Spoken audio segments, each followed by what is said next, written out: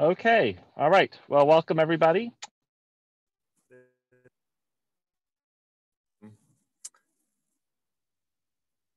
You can hear me okay? Uh, yeah, we can hear you.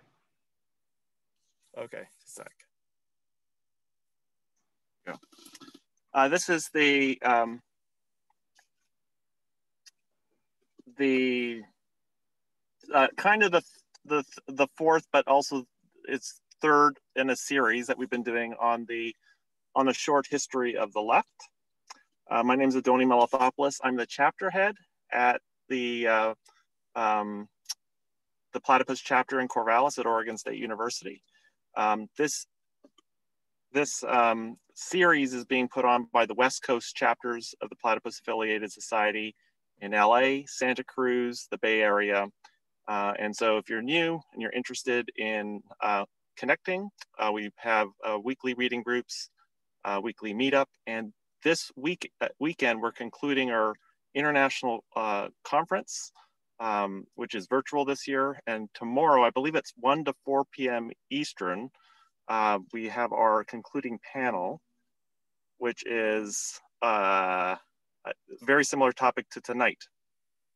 Anybody remember what the title is? Oh, there we are. Like a decade on the left? Decade on the left. Fantastic. Great. Okay, so um,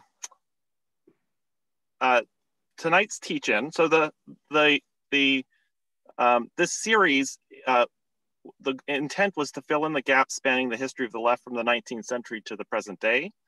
Uh, the series is based on one of the founding documents of the Platypus Affiliated Society, A Short History of the Left.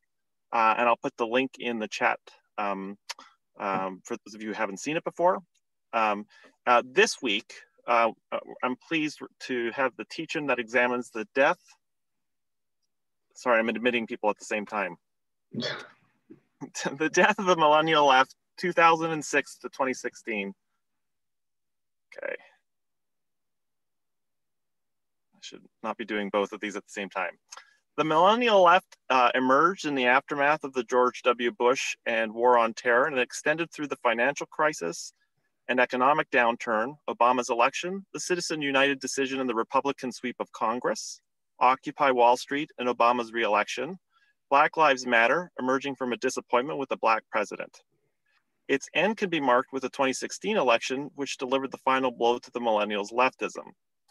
Uh, we're going to have a presentation by Huang from the Corvallis chapter, and then after that, we'll have time for a, a discussion that's going to raise questions of what can be learned from this experience and what does this history mean for the left. And without uh, without further ado, Huang, I'm going to hand it over to you. Um, yeah. Okay. So, um, welcome everybody. I'm Huang. I'm also a Platypus member at the Corvallis chapter.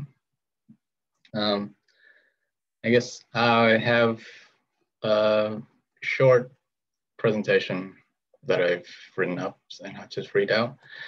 And then I'll open it up to Q&A and kind of informal discussion. Okay, so Um, okay. Uh, it might seem strange to recount the history of the millennial left. After all, what exactly has the millennial left accomplished? No new social movements or organizations have been created. No major achievements have been accomplished. Indeed, it is even difficult to even define what the millennial left was. Was it the anti-war movement, Occupy, BLM, the Sanders campaign, or maybe DSA. Perhaps it is both all and none of these things. For what all these phenomena represent is not a historical achievement, but the necessity of historical task, a task that was inherited from the history of the left in which the millennial left failed to advance. Coming of age in the early 2000s, the early co the earliest cohort of millennials were first politicized by the events of 9-11 and the subsequent invasion of Iraq in 2003. Participating in the massive anti-war protests of the early 2000s, millennial activists were being introduced to the dismal legacy of Marxism through the phenomenon of the Marxist sects, organizations such as the ISO, um, the World Workers' Party, the RCP, which had organized some of the early protests against the war. We're introducing a new generation to the leftist tradition of anti-war and anti-imperialist politics. Being both inspired and repulsed in equal measure by this history, the millennial left reached back to the earlier periods of the new left and sought to revitalize the spirit of the 60s anti-war movement. As a result, some millennial activists began contacting New Left veterans to seek advice, and with their assistance, revived the Students for a Democratic Society, SDS, in 2006 during that year, students from around the country organized the first SDS National Convention since the breakup of the organization in 1969. It was here at the convention that the new SDS was warned against reproducing the new left and repeating its mistakes. In this spirit, Platypus was formed in December 2006 as an attempt to take seriously this challenge to ask what it would mean to understand not just the history of the new left, but the history of the left as a whole, as a history of failure, and how interrogating that question could help contribute the reconstitution of left-wing politics in the 21st century. Platypus's first engagement with the left was on the issue of imperialism. Here it became increasingly apparent that the millennial left, along with the sectarian organizations, were abusing the concept of anti-imperialism towards dubious political ends. The issue came to a head when shortly after the overthrow of Saddam Hussein, the Iraqi Communist Party released a public statement stating their intentions to work with the US-backed coalition government and criticized the Western left for advocating the immediate withdrawal of troops from Iraq, which they argued would only bring more violence and instability to the region. This statement was roundly dismissed by the Western left, and the Iraqi Communist Party was denounced as lackeys of imperialism. Instead, when the Western left side, uh, the Western left sided with the Islamist resistance against the coalition government on the grounds of anti-imperialism. Anti-imperialism was no longer a form of left politics, but instead a thought taboo, an article of faith that simply cannot be questioned. This revealed not only the collapse of any international politics on the left, a problem which is already manifest in Stalinist old left, but also the ways in which the millennial left was being weighed down by the legacy of the new left. The 1960s strategy of weakening the US political standing at home through a military defeat abroad, a strategy which had already failed during its time, was now being resur resurrected as if nothing had changed in the intervening 40 years. Try as they may, millennial left could not turn Iraq into Vietnam. the moment of crisis for the anti-war movement came with the election of Barack Obama in 2008. Two critical issues were at play during that election, Obama's stances on the war and the issue of Black politics. In muddling the issue of anti-imperialism, it no longer became clear what opposition to the war even meant. This allowed Democrats like Obama to run on an anti-war platform and lead the political discontent with the war that had bubbled up by 2008. The left played its part by focusing almost exclusively on the failures of the Bush administration, failing to recognize the ways in which both Obama and Bush's stance on the war were similar. After all, what difference does it make whether the troops are withdrawn, quote unquote, when the security situation allows it or when the mission has been accomplished? That was the ways that Obama and Bush had um, pitched their foreign policy. Um, another issue which came up during the campaign was the question of race. What was remarkable about the Obama campaign was how little its success was premised on the Black politics of the Democratic Party. Indeed, Obama's success relied on bypassing this kind of politics altogether. Here, it seems as if the new left assumptions about the necessity of Black politics and its progressive character were being called into question by the social reality itself. Instead of using the opportunity to critically reflect on this historical legacy, the millennial left held steadfast to its inherited dogma. This prevented them from understanding Obama for what he is, a conservative black politician. With the election of Obama in 2008, the political movements of the early 2000s, from the anti-war movement to the immigrants' rights movement to the new SDS, all collapsed. Marxist sectarians who were once so prominent at anti-war protests fell oddly silent in the face of the worst economic crisis since the Great Depression. The next wave of popular protests came with the Occupy movement in 2011. Here, it was not the 60s anti-war movement, but the 90s anti-globalization movement that was being emulated. Seeking a clean break with the political traditions of the past, Occupy rejected any attempt at political leadership in place of concrete political demands or programs. Um, the politics prefiguration prevailed as a unifying force. The idea being that if only people could see a new form of consensus democracy at work, they would at once rally behind the left.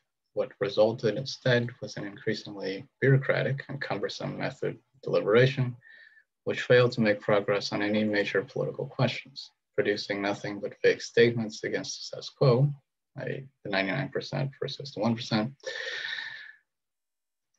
What started out as an ambitious attempt to rethink politics ultimately ended as a resistance movement registering discontents with the Democratic Party, bringing about neither reform nor revolution.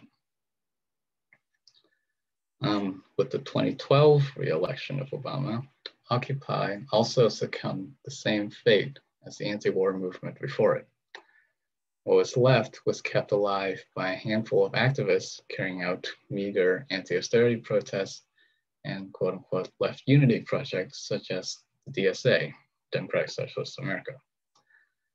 Thus began the slow death of the millennial left as it chased after every fleeting popular discontent generated by a collapse in neoliberalism, from BLM Too to Bernie Sanders and Donald Trump, each time hoping that this or that protest can be turned into a mass movement i.e. that it can be used to save the left.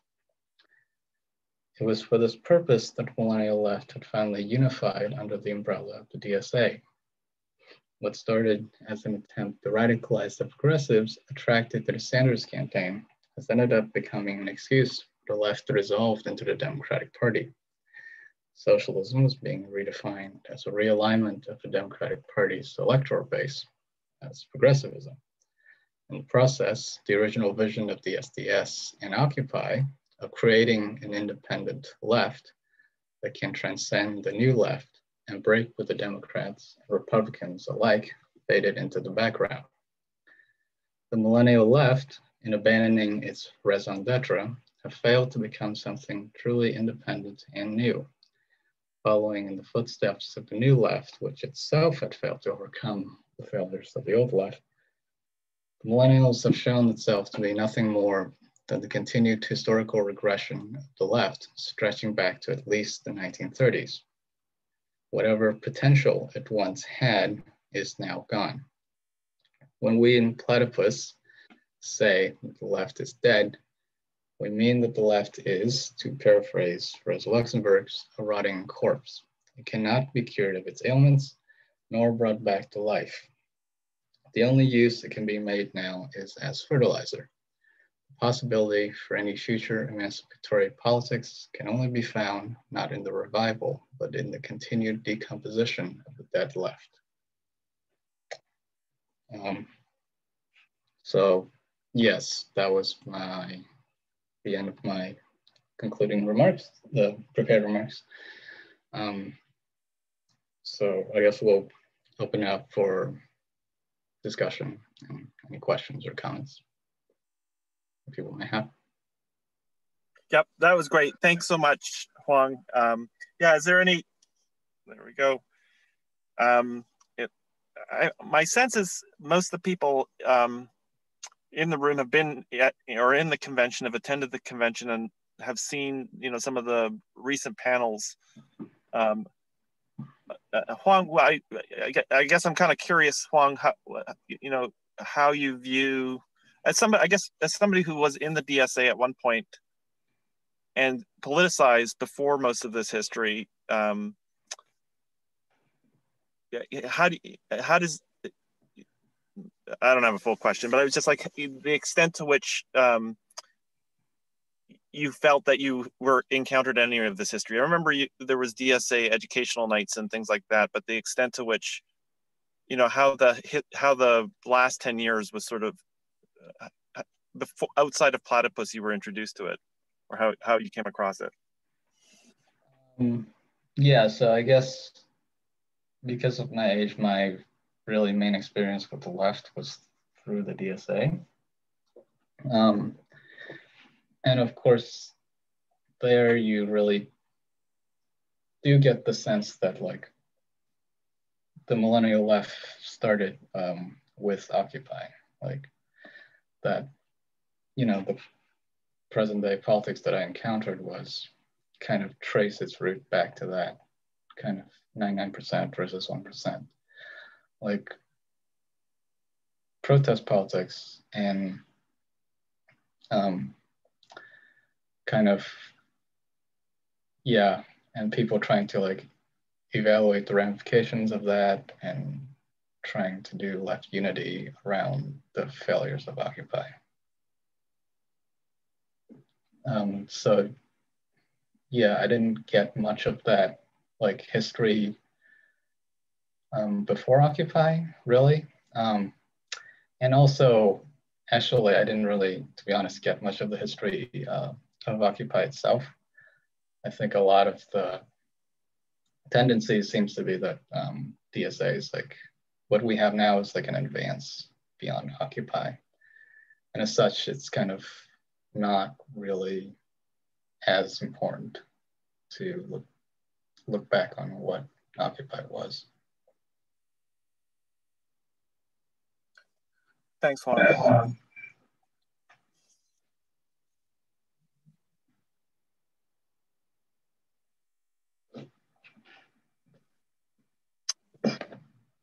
I was wondering if you could talk about like more about the situation, the context in which you joined the DSA. Do you consider yourself a millennial leftist? Uh, you, um, and yeah, like if you could speak to the, you know, your politicization or or depoliticization, or you know, disillusionment or what have you. Yeah. So. Um, my experience with DSA is pretty brief. It was really only in college. Um, and this was after 2016, um, after the Trump election.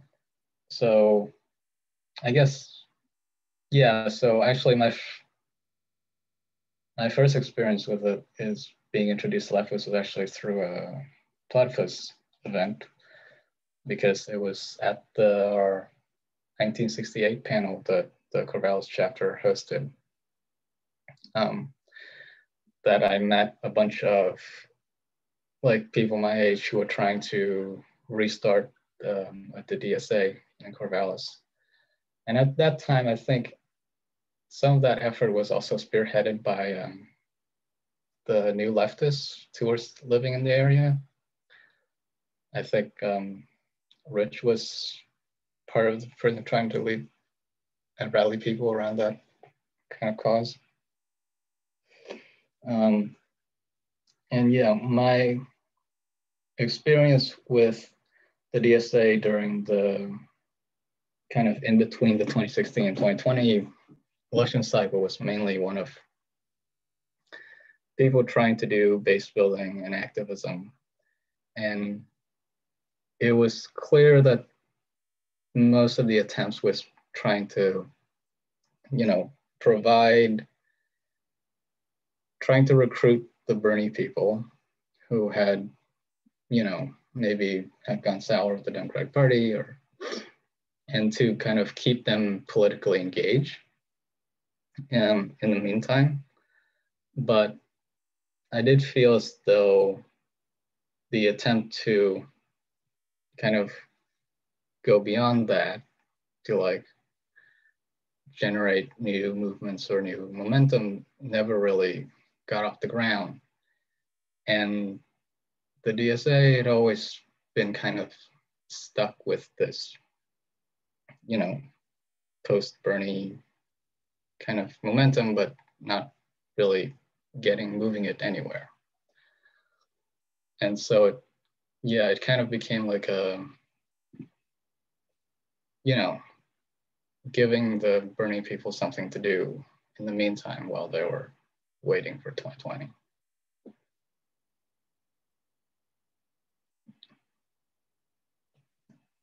I know that made any sense, but yeah.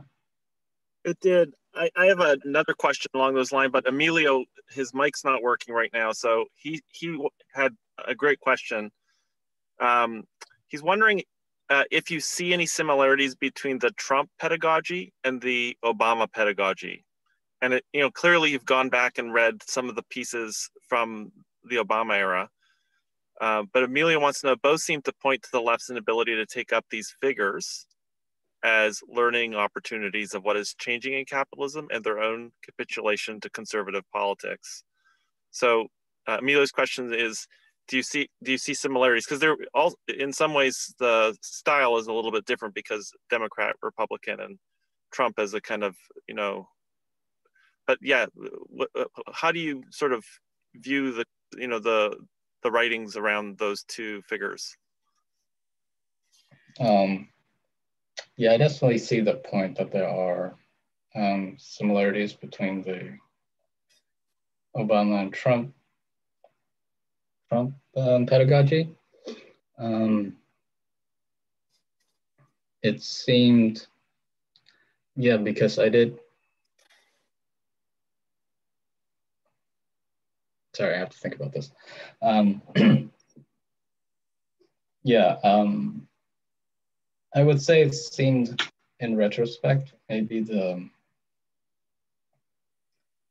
um, the question of whether Trump had might have been more successful than Obama in terms of his like post neoliberalism. Um, was raised for me. Um, and also, yeah, because I guess in both cases, the left did kind of hold on to its kind of traditional, you know, view on things like race and you know defending the welfare state or whatever um, yeah but it seems like the second time around with the trump president there was definitely much more hysteria around trump um, which were like you know accusations of fascism and stuff which i guess you didn't see before um, that's interesting to me. You know, there's a there is a kind of way in which, um, you know, I remember when we we you know when we were reading some of the early pieces about the Obama presidency, the way in which uh, people couldn't quite, uh, you know, the way in which Obama wanted to distance himself from Reverend Wright, for example, and um, Jesse Jackson, you know, being really, really mad about Obama's, you know. Um, not paying you know proper respect to that or whatever i'm not i wasn't quite sure exactly maybe some of the older members from chicago can remember that period but that there was a way in which the left projected on obama all sorts of things that he wasn't which they kind of i guess did for trump as well. But there is the point of like you know the i guess you know the i've yeah, but there's a kind of way in which like Trump actually reconfigured the political landscape in a way that Obama didn't, I suppose, to reinforce it or something. Yeah.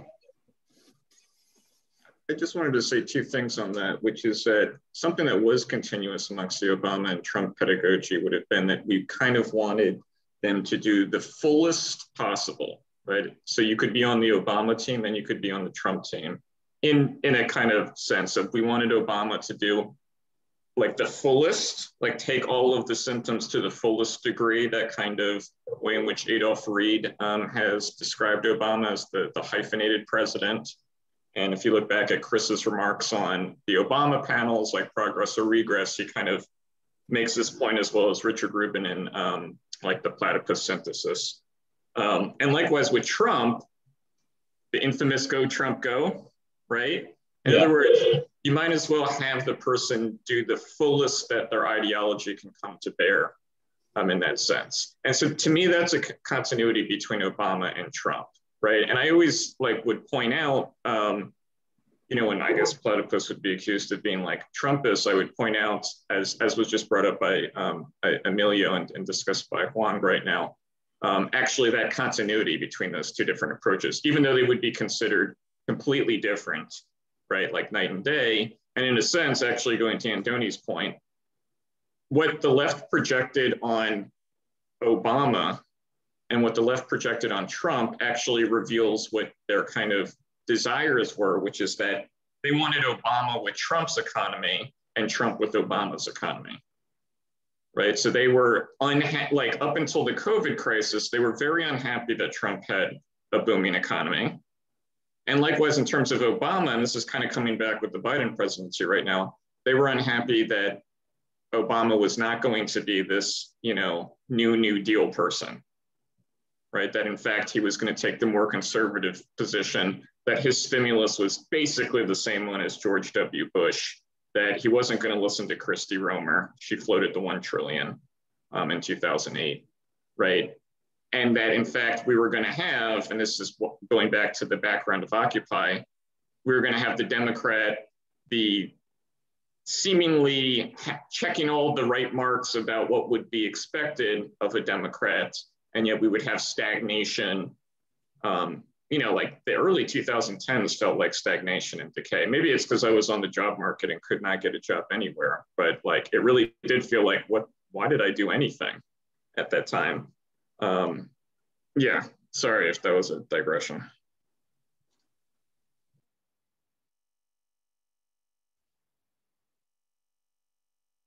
That was really useful, actually. Thank you. Brian? Yeah, I was just going to say, um, one thing that, being on the millennial left, one thing that really appeared to me was the real unpreparedness. Ryan. Yes. There's something about your audio that is a little dim. You I don't know if you. Yeah, that's better. Okay. One one thing that uh, being in the millennial left, one thing that really struck sort of upon reflection is how sort of this feeling of unpreparedness by the millennial left that post 9-11 sort of the like politics re-emerged and global politics sort of crashed onto the millennial left in a way where I sort of reflected on the like the what the the post political left had passed on to the millennial left that there was this feeling that society wasn't political in, in the old ways and that the old problems were somewhat resolved in, in, in mystical ways. And the theory, like reading Zizek and Graeber and Fisher, really just left this sort of bizarre confusion and that when uh, after the global financial crisis that sort of solidified and just became this scramble to, to find other you know political ideas that were out there and people moved into various trotskyism or other things in a kind of just this very spontaneous way. And i think that was sort of my biggest reflection was that it the millennial left just had this sense of confusion and unpreparedness throughout its whole operation that, and that ultimately led to its sort of impotence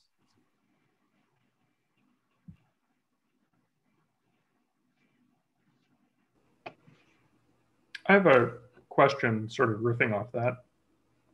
So, you know, just with my experience being a um, like a DSA participant, um, one of the things I've always been struck by is how young DSA members are, even by like millennial standards. Um, so, you know, like I think the oldest millennials are now uh, on the upper end of 30. And DSA is sort of like an in your 20s kind of organization for the most part, or it seems that way. So I guess what I'm wondering, and this you know kind of goes to Ryan's point about you know sort of inexperienced and uh, like unpreparedness for everything, but to what extent does it even make sense to talk about the millennial well millennial left as like one um, one generation as opposed to you know maybe like two or three or maybe more like two even shorter more abortive generations than this millennial left category would be hmm. yeah i guess i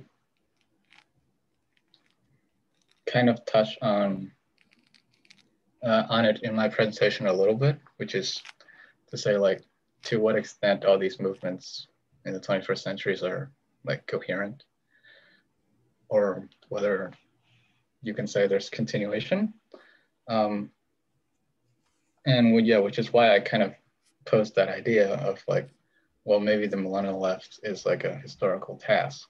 Like it's it's a challenge that has to be met of like um, reckon, uh, reckoning with the history of the dead left and of maybe overcoming its historical limitations.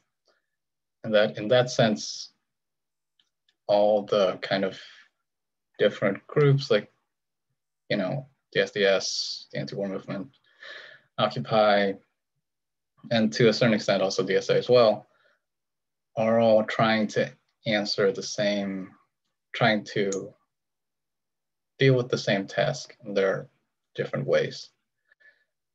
Now, you know, they might not be successful, but that's kind of the, I would say, the thread that ties them together. I don't know if that, I guess that indirectly maybe touches on your question. I don't know if anybody else has other thoughts.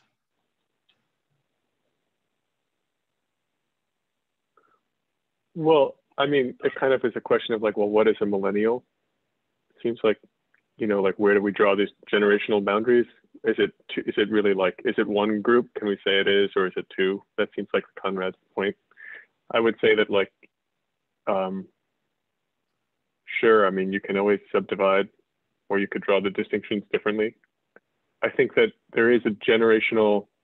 There's something to be said for like kind of. Uh, I don't know, like in the early 2000s moment, like in some sense, like coming to like social, being socialized in some in some sense with the internet, and I think that's something that we sort of have in common, just like as a generational experience. That I think that people in their you know mid 20s and you know later in their 30s kind of share. Whereas I think it's possible, and who knows, that like, you know, people like, I, I was just going to ask Huang, do you consider yourself a millennial? And also, like, you know, do you feel like a generational divide with freshmen in college? And I would, my sort of hunch is like, maybe, yeah. But I don't know. I mean, you should answer that question. But, and just like, if for nothing else, like, the, you know, I, everybody here, if you went to college, like, you had a freshman year, right? And like, I think that the that experience is pretty different. I don't know, but I mean, what that like? That's this is like super like this is like you know social, cultural. It's less directly um, political. It's um, yeah. I guess in the U.S. the the experience has been because you know when we were around when we started in platypus you and i there was i i'm gen x and i i remember the 90s i went through the 90s and experienced it and i i felt different with your generation and sort of like there there was a different kind of t- uh, tempo to things. And i don't mean in terms of like technology and sensibilities but politically there with the anti-war movement there did seem to be a way in which the 90s had fallen behind. Then the, the 90s seemed to come back in some ways with Occupy. Like I, I recognized it. Like I was very, I remember you know, there's discussion on the list about how how some people, you know, were kind of horrified by Occupy, but that was like my milieu, the drums, and that was what I grew up with. right. The dream of the '90s, the dream of the '90s is alive in Portland. I thought that was like at the you know, same I'm, time. I'm sitting like, in a parking like- lot in Portland, Portland right now. So yeah, no, but that, but I think that that, that there's a there was a different sense, and the, the uh, uh, but even the '90s and with the Obama president, there was something that uh, you know I felt a little out of out of place even with Occupy, and the question is like now with where does coming back to Conrad's question, where does this line because you look at the DSA now and it's full of people who are really, really, really young.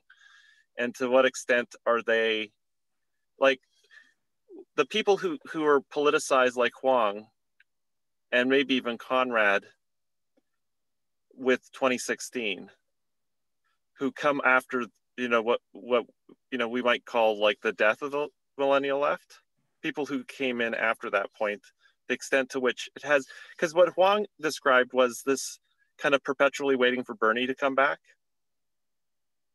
That that was his kind of political experience. It was like, is Bernie coming? And then when Bernie never came back, it kind of like it took the wind out of everything, which may have been different from people earlier. But I, I don't know what people think about that. But I had this thought come to my head as, as well as both based on what uh, Gabe had said earlier and, and then also what you just said, Andony, which is that, you know, one of the things, not to make it too platypus centric, but, you know, often in platypus, we'll talk about actually the potential in the new left being earlier than how they imagine it, right? Post facto, that they kind of imagine it coming at the latter part of the 60s, that it's 1968 is the world crisis. And you can even track it in music. It's like Sergeant Pepper's to the White Album or something.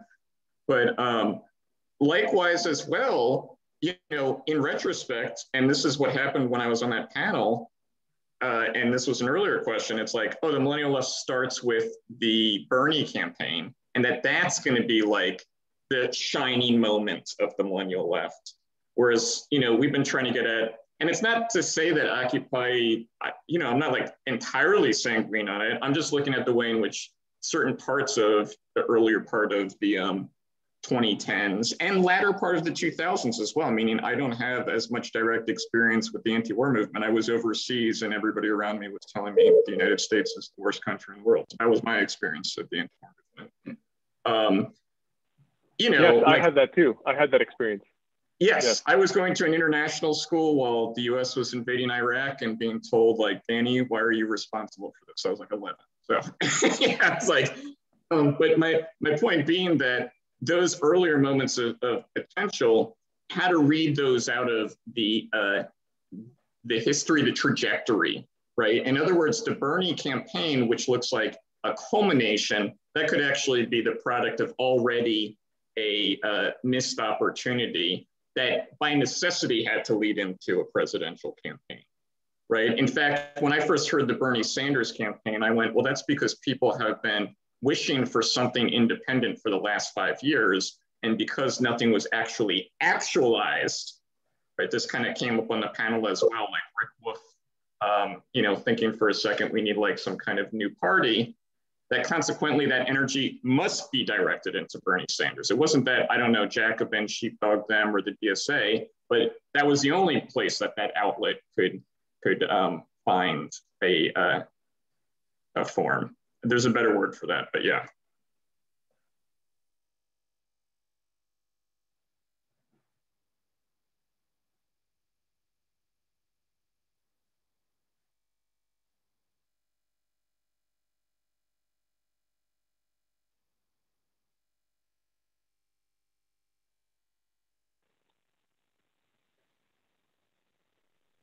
I have to think about that, Danny, because there's a, you know, there's a, it, it seems rings true to me. I do remember after Occupy, you know, following the people who I engaged in, in Halifax when I was up there and following them on Facebook. A lot of them, so th- there was a small number of them that got involved with municipal politics, uh, unaffiliated, without an organization. There was, I think there were these. Kshama broad- Sawant. Kshama Sawant. Well, That's I mean, why- she was, yeah. she was, she was a socialist alternative though, but there were people, Oh, there were people, unaffiliated. Yeah. there were occupy-ish kind of people who got involved in civic life after Occupy at, at, at, in no organization. They just they were kind of they wanted to but you know you could see them you could see that basis being where you know having nowhere to go as you put it and then when bernie sanders candidacy is announced if you know it snaps into a focus for a lot of those people. That you know they were you know the after occupy there's just nothing around. And there was a you know there was a lot of new people that came in at that time who floated around and and did various things but were not in any kind of organization. I think about. oh go, go ahead. No i guess the, the weird thing is like why you know it's like the dsa I, th- I think chris brought this up in a teach-in that you know if if you had if you had said the DSA was going to be this organization that was going to grow of all the sectarian groups, I remember this uh, being at a convention when um, um, Sawant got the you know the the electoral position in Seattle. Everybody said the ISO is going to d- dissolve. It's going to be socialist alternative. And I remember mm-hmm. arguing with somebody, and they said, "No, no, no. The ISO is way too strong. That's overstating it." Nobody would have said it was the DSA. Right. It, it, it seems very bizarre that like, except that Jacobin was there, kind of like it. It seemed like it, the. It seems very kind of accidental that it was the DSA that was the beneficiary of this. You know, there's even this question of did Jacobin imagine if you go back and read that first issue that they would be where they were 10 years later? Like it had, you know, this was during a period when like there were all sorts of like blogosphere things popping up. The new right? inquiry. The new inquiry. The North Star. You remember them, right? Yeah. Um, and so Jacobin seemed to be like, yeah, this is kind of like everybody, and it, maybe it even felt more insular. That I mean, I know there's a necessity of as you grow, you're, you're going to eventually not be as insular just because you're going to have a greater readership and more popularity, and there's also just the need of of maintaining the magazine. Sorry. Um, yeah, but um, yeah, I mean, okay, see, I was at the Platypus Convention in 2011. I was in the DSA. There was a DSA, uh, what is it? Not, not a teach, is it a teaching? What was the word that we would use, Gabe? Night school. No, no. we called it uh, differing perspectives on the left. Differing perspectives on the left, and I'm sitting there watching the DSA person, and Richard Rubin asked, "So do you consider Finland a socialist country?" And they said yes, and I was like, "Uh oh." right? And I was in the DSA at the time, and I was like, yeah.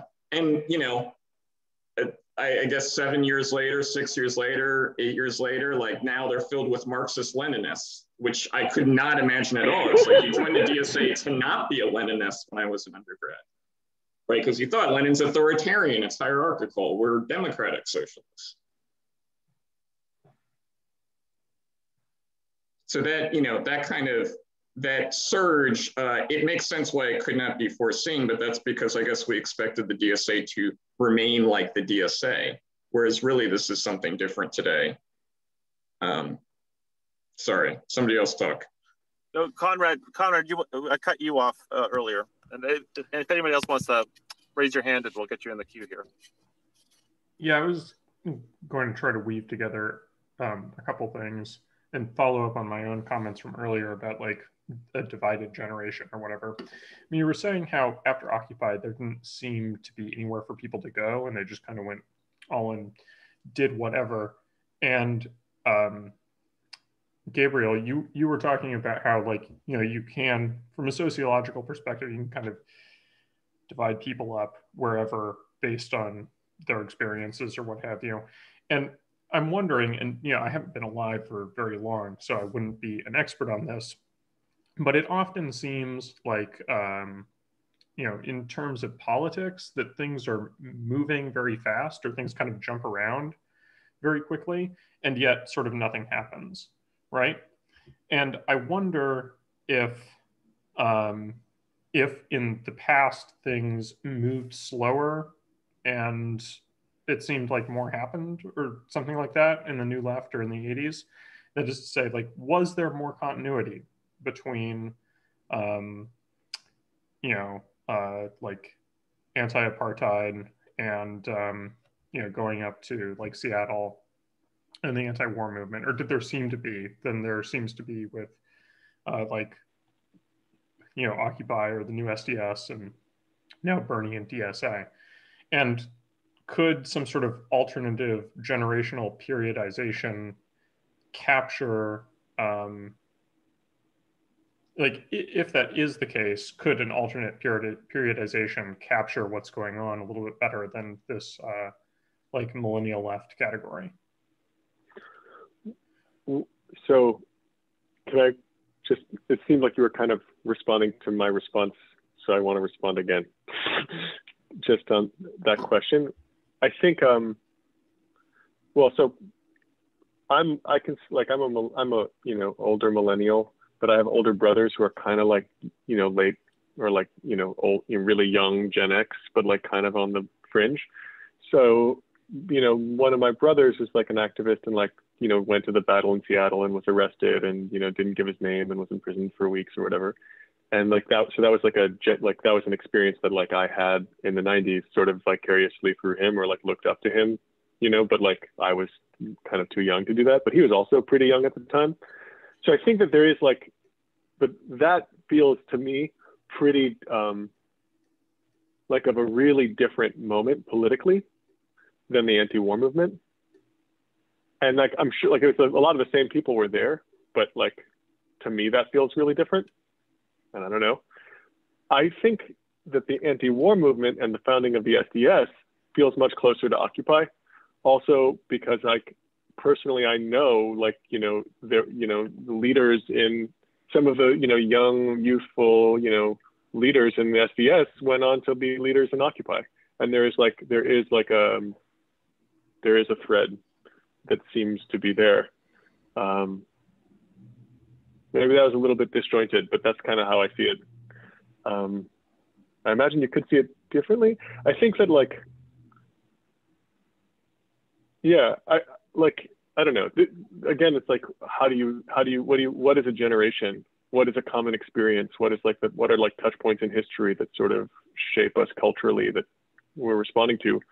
And it, it, it, it, is like those kind of like cultural, social, and like more than political touch points because the politics is usually more veiled and like as you say like not much changes but there are changes. I mean like there are you know it's and it's like connected to a, a lot in in large part like the electoral cycle and like different events that kind of like happen. Um yeah that's a little disjointed but you know, yeah, I mean, things are happening. Disjointed too.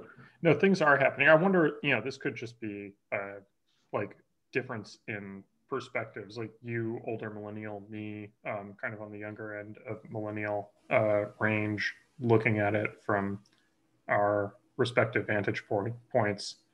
Um, yeah, I'm, it's just sort of a bugbear of mine that going to DSA meetings, you always sort of get the feeling that uh, like no one knows what they're talking about or can tell you anything about anything.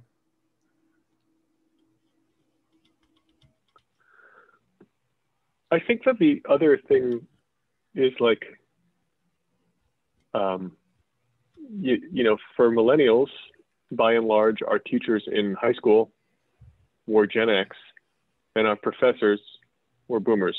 I mean, okay, that's not totally true, but there is like a little bit of truth to that and so there's a way in which we can start to talk about like the like the way that generational experience is like transmitted in terms of ideas generationally. Uh, and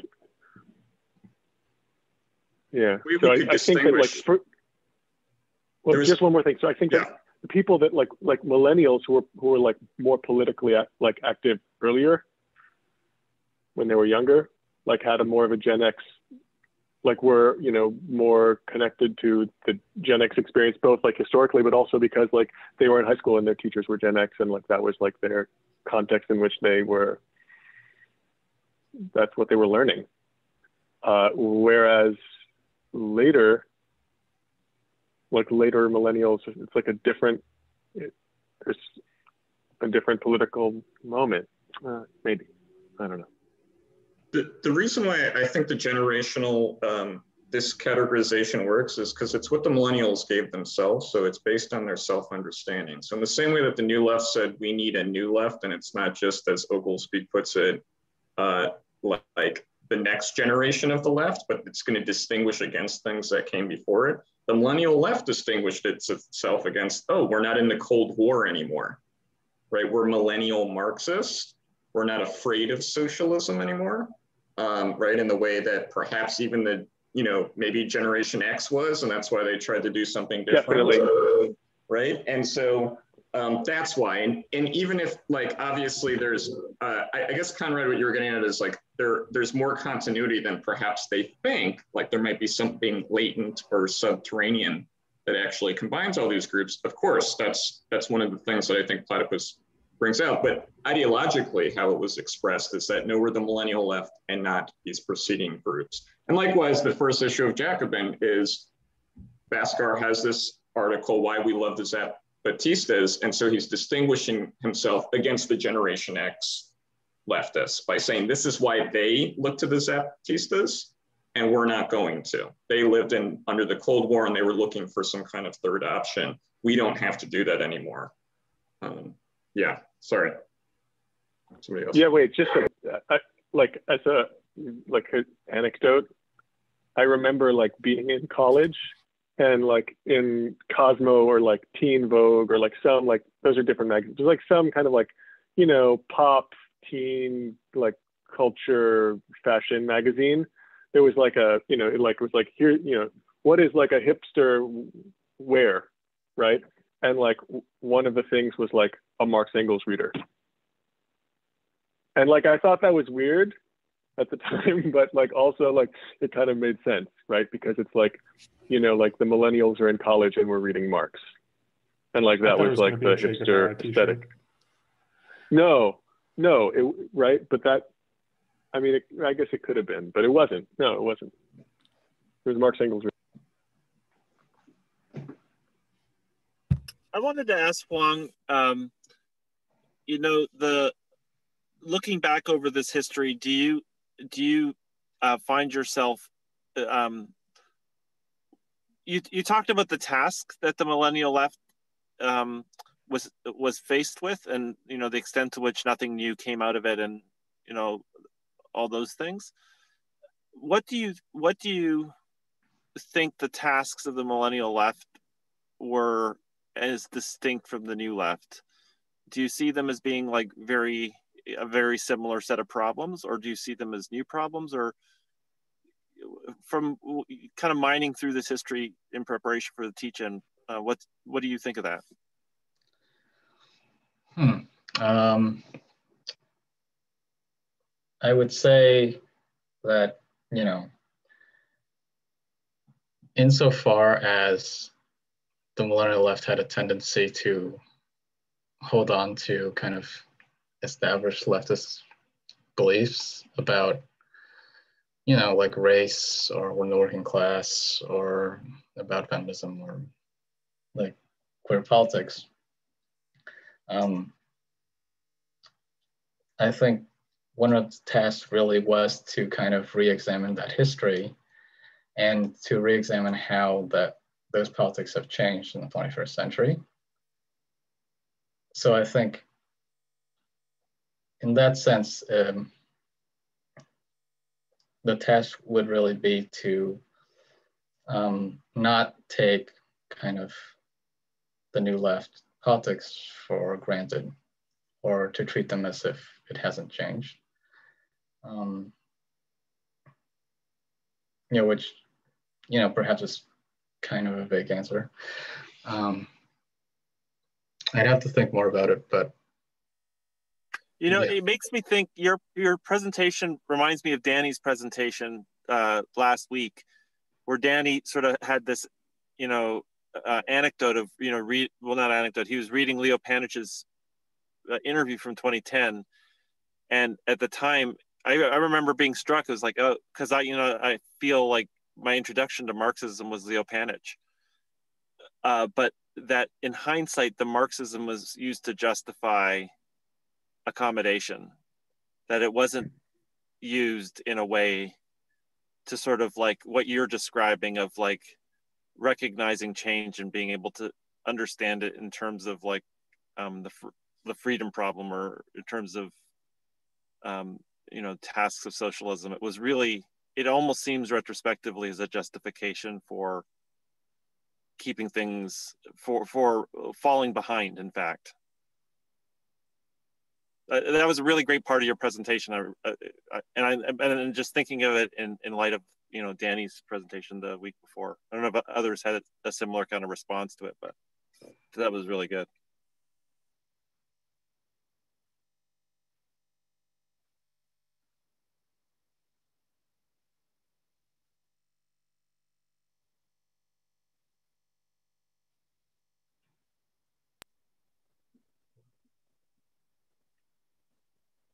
Sorry, there's a question in the chat as well. Yeah, Ryan. Ryan's question. I was about to ask if. Do we want to read that question? Yeah, sorry, I, I, am working off a smartphone here, so. I can. So Ryan, I'll, I'll, read it. I'll read it. Yeah, um, please. Go. Okay. Go so Ryan uh, writes, we touched on this a bit with the comments about the internetization of leftism for millennials, but I was wondering what we'd think about the characteristic autodidacticism of the millennial uh, left. How is this an obstacle or an advantage? So Ryan's asking about the autodidactic character, um, you know, very prevalent, especially in the last five, six years. Yeah. Yeah. I was curious about what, how much the autodidacticism was there, like in the earlier periods, like in the anti-war movement or in the Occupy. I guess to a certain extent, maybe Occupy, there was that. Um, but yeah, like to what extent that was the case and to what extent they were, um, the millennials were still being taught socialism from like the sectarian orgs. I'll just say something quick, although I, I want to hear like uh, Gabe on this as well. I feel like Gabe would have something to say. Um, my copy of Das Kapital I got from the People's Library of Occupy Philadelphia. So the reason I bring that up is because there was a lot of uh, books that were considered flammable, right? Books that were considered dangerous, that were being kind of pushed around. I feel like during Occupy and Black Lives Matter. And this actually kind of goes to Gabe's earlier um, anecdote about like, they were almost like symbols like oh you're going to read this like you know like to, to express your militancy and radicalism but I feel like what has happened in the latter part of the 2010s, um, especially with all of these podcasts, is like, oh, we're going to study them. Whereas I felt like earlier it was, it, it, it had, and I'm not saying that's good or worse. I'm just saying that my experience was that, you know, there's always been capital reading groups. Like, you know, there, there will be that forever. But like, my point being that um, I felt like the millennials after the Trump thing was like, oh, we have to all become like sophisticated like Marxists and know all of this stuff. And that that's and that might be also partly due to the explosion of this podcast that this kind of opened up like, you know, an avenue for everybody and their friend to get on the internet and do some like reading group and just kind of pontificate about these texts. Like I, I remember a few years ago doing the platypus reading group in Houston, and every second person that would come to the reading group would send me a new podcast of somebody reading like the Communist Manifesto. But I don't know. I'm, I'm curious what maybe uh, Gabe, I just to call Gabe out, but I feel like Gabe might have something to say about this autodidacticism in the earlier millennial part. And can I just add to that, Danny? Just just quickly, like especially about the autodidactism, and I think this came up sort of in the Platypus in the Age of Zoom panel as well. It's like, is there a sense that people are really learning things from like listening to podcasts and just like going to websites? Is, is it like an effective tool to like for the next generation of left to learn? Or has it just become sort of like recitations of known facts? about you know, history. I think that's sort of something I've known about podcasts is like people just listen to podcasts and they find certain podcasts to be authoritative on various subjects, and then it just becomes a recitation of that as, sort of dogmatically. I, I was going to say that the the maybe the equivalent. There's two things. There's the independent media, which the comes out of the 90s, which was really reportage. It was not about anything other than reporting events. But then there was popularizers like Zizek in the millennial left, who you know had this combination of being theoretical but kind of vulgar, and so it seemed accessible in some ways. And so that that you know people would maybe have a similar. But uh, yeah, Gabe, what do you, what, what's your thought on this? But I, I I do remember kind of we had popularizer pop we had this kind of like pop Marxism back then. Hmm. I don't remember. uh, I remember. I mean, I remember seeing Zizek speak in college, and it was a small room, and it was so packed, and people climbed in through the windows. Um, but Yeah, I mean, I, I don't think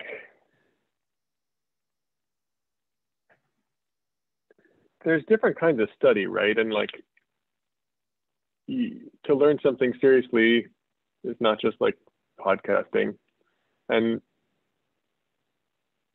not to say that podcasts can't be interesting or nice to listen to. I listen to them. I think they're really interesting. I learn stuff on them.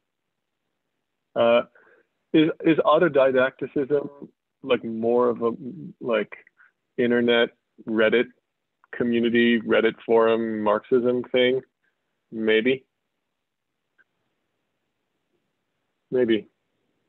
Yeah, I don't know. And maybe one way to put it is that there's always been autodidacticism. I mean, I went and read on my own. All of us have. I mean, sure. all, you know, everyone here is somehow intellectually uh, self-motivated but that it's become a noticeable phenomenon. I think that's what Ryan is getting at. In other words, uh, just thinking about the, the stages of the millennial left, there's always been self-reading, but why did it appear in the latter part of the 2010s that this was a noticeable phenomenon of people coming to Marxism not through some kind of protest, like it wasn't Black Lives Matter or Occupy, not through Bernie Sanders, but through Twitter, right? And through right. podcasts. And that that that's, I guess, you know, what, what it seemed to be in Ryan's question was asking about that kind of autodidacticism and not, Gabe, I know you're very self-motivated, you love to learn, me too, great, but like it, that I don't think was what was meant by the autodidacticism. It was expressing why people were becoming Marxists in the latter part of the 2010s. And also, also in a way in which it presented as a kind of eclecticism that like there was like a people were reading from like quite diverse set of and even contradictory ideas and holding like somewhat contradictory positions and not sort of addressing those contradictions. I um I know someone in our local DSA chapter here who's like a PSU student. Um, she's sort of a um, uh, you know she has like a socialist realist picture of Lenin as her phone case um, and is sort of a, like a vaguely third worldist um, type of Stalinist person. And one day I was talking to her and I found out that she loves the book uh, Time, Labor, and Social Domination by Moishe Postone. and I was just like, that's interesting. Have you read any of his other stuff? Hmm. you know, I guess the other thing just History to point out about this is that there would have History been helplessness. Right there there the other thing is that I think most people would have, you know, got their Marxism from the ISO or something. And so you would have you would have had eclecticism there as well. It was curated in a specific way, and it wasn't maybe as self-studied, and there would be people around, but it was also eclectic. You know, but like all right i mean my memories of the anti-war movement in 2002 were that like there were like sectarians fighting with each other like arguing and like selling papers and like wanting to like have arguments about all sorts of stuff at the protest and I, i've been to protests since and it's not the same i don't know not to be like really nostalgic about it, but I feel like that's a difference. just like in the vitality of the sectarian left.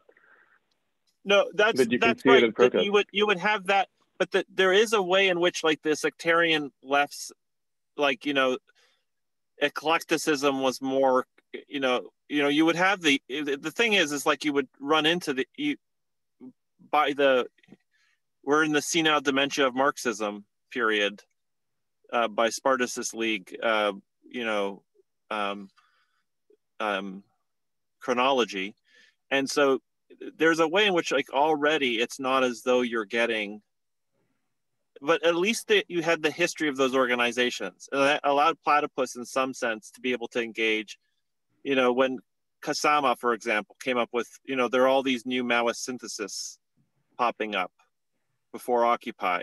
It allowed us to kind of like bring up the history of maoism and sort of like you know what is Badiou and what is Zizek and what are these different strains meaning historically? In a way that the eclecticism at present is hard to kind of like um, it's hard to pin down. Huang and i had this experience in the dsa in corvallis and huang you may want to comment on it but everybody had a different ideology in the dsa there was the anarchist there was the stalinist there was the leninist but none of them had any sense of their historical well they had a sense of history but there you know it couldn't be brought to bear at all. They were not part of an organization. They weren't sure it wasn't clear how these ideas got into their head in a way that if you went to the iso and you learned you know a certain kind of reading of lenin you could track it or something Yeah. Yeah, if, if I can cut in for a minute here, um, just some sort of along similar lines. um, it might be useful to like kind of dis- so yeah there, there was like eclecticism and there like there was sort of like a, a kind of there were certain similar kind of like eclecticism a certain type of autodidacticism that sort of thing that people have been talking about around like yeah like you know the anti-war movement um you know the like protesters who were at like the g20 protests in like I think it was 2009 or 2010 like in pittsburgh or whatever and like things like that um and and also like around occupy. But like i think maybe so i mean what's different is that with like the sectarian with like the different groups is that they kind of the history of their organization like embodied like their organizations embodied and kind of objectified a certain history even if like that maybe wasn't very successfully reproduced especially in like the younger recruits like at that time. And you know that's not what we have um, so that's like a slightly different problem you know? So certain things are kind of similar that like there was still like a great deal of like eclecticism especially amongst like younger recruits to the iso and stuff like that. You know like i mean you you had people who at these protests who like who were like with the iso and identified as like isoers and they probably like read marx in like a reading group or something. But like you know you talk to them they'd be like yeah like i'm reading naomi klein. It's really awesome. You know like there'd be there'd be a, there could be that similar kind of thing. But so so like that maybe hasn't radically changed. Um but you know what's different with the kind of breakup of those organizations is that whatever however kind of like obscured and like maybe hard to access there was still this like history of the 20th century left embodied in these different organizations. And you know and, and it's kind of unfortunate that the dsa has like i mean so like the dsa has like kind of transformed but like it's it's it's very that hasn't been like well marked or something i feel like right? Um and i don't know how like well that's been reflected on especially by like younger members uh, in dsa and like kind of reflected on kind of some, somewhat publicly or whatever. I mean i don't I'm, I'm not in the dsa so i don't know about any of their internal conversations but i don't think there's a lot of curiosity about that um which is unfortunate in a lot of ways um, so I think there's a like maybe less curiosity about I don't know, or, or, or just thinking that all of these like you know like older sectarian organizations that history is just sort of like okay, it's like okay boomer or like whatever, um, and that's unfortunate. And that was maybe less the case around. That's maybe one thing that is different. Um, so I mean, you know, kind of people will still be interested in Marx, Marxism, whatever. Um, and you know, Platypus has has its mission or its task to kind of like, you know, intervene in the kind of transmission of bad pedagogy, like all these different things. And like that's not necessarily like different, but you know, it is complicated, and there is sort of a difference we should mark between when when you had like the difference, which I think Gabe was kind of trying to get at, between the kind of character of the protests and the way younger people who were drawn to the protests out of sometimes very, very general discontents or just, you know, right, uh, feeling that something is unjust, how they would potentially, the ways that they would be potentially open to interacting with the history of the left versus now, um, where the, the relationship is uh, the, the relationship is instead of like being somewhat kind of like maybe skeptical but but like kind of naive now it's like very much a kitsch relationship. It's like people who like call themselves stalinists and like really really have basic like call them weirdly like call themselves stalinists or think that they have to read stalin to justify like really very like right wing social democrat like views at best, but really probably even lower than that. Um, so in a way, that's that's maybe more closed off than and, and maybe a different type of obstacle and maybe a deeper obstacle to work through, if that if that makes sense.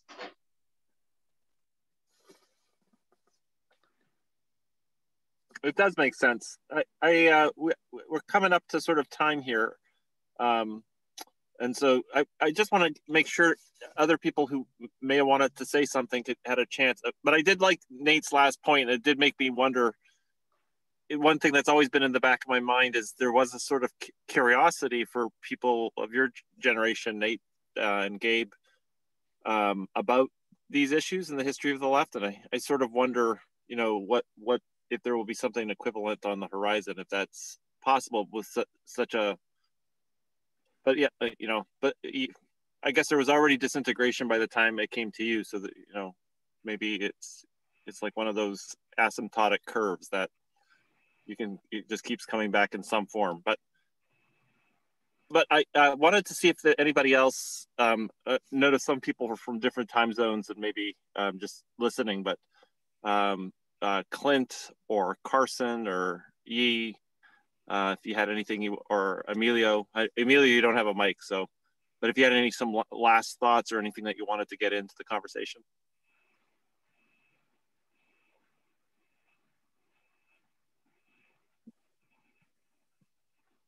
No, I guess the only thing that I would just sort of add, going to the earlier thing, um, is that, and we've, we've talked about it some, but just about how the issue of generation is much more at the level of ideas and like imagination um, and like sort of like historical horizon is available. And I thought your presentation was great, Huang, because it showed how like these three different phases in the millennial left do sort of repeat different things. Um, you know, you know, ending in Occupy with the with with the uh, glo- you know anti-globalization, but also the um, Obama and race, and then the anti-war. Like we're going to have like another Vietnam, and like that that sort of repetition at a much more um, detritus level. That that's more more of the level of generations that um, we're dealing with. Um, but yeah, overall, great discussion. Thanks, guys. Thanks, Clint. Anybody else before we uh, close up here tonight? Okay, great. We have to pace ourselves for the Sunday business meeting, which will be over Zoom. yeah. will require great stamina. Okay, thank you so much, Huang, and thanks for everybody who um, uh, participated in the series. And maybe we'll see if we'll uh, repeat something like this again. But uh, farewell from the West Coast, and uh, see you guys in the next few days. Thank you. Great job, Huang. Thank you. Au revoir. Thank you. Take care. Bye, everyone.